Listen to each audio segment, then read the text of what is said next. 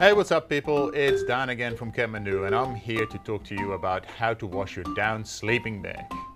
Now washing a sleeping bag can be a bit of a challenge, but if you follow these simple steps then it's definitely doable.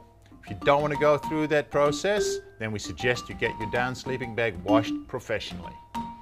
And remember, look after your gear for maximum performance and if you do, the gear will last you a lot longer as well. Remove obvious stains with a soft damp cloth. Do up the zip, close the tabs and turn the sleeping bag inside out. Now put your bag in the washing machine. Use a special down wash like Granger's and never use fabric softener or bleach. Set the temperature at 30 degrees Celsius and select a gentle cycle. Make sure to give your bag an extra rinse and also to never use a spin cycle. Now the next step is very important.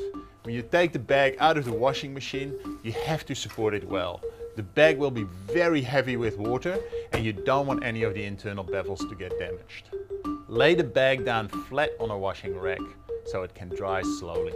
Now that the bag is starting to dry, you can put it in your tumble dryer, select a low heat setting and make sure to check on it regularly.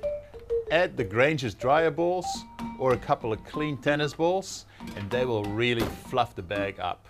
Finally, take your bag out of the dryer, give it a good shake, and there you have it. Clean sleeping bag ready for your next adventure.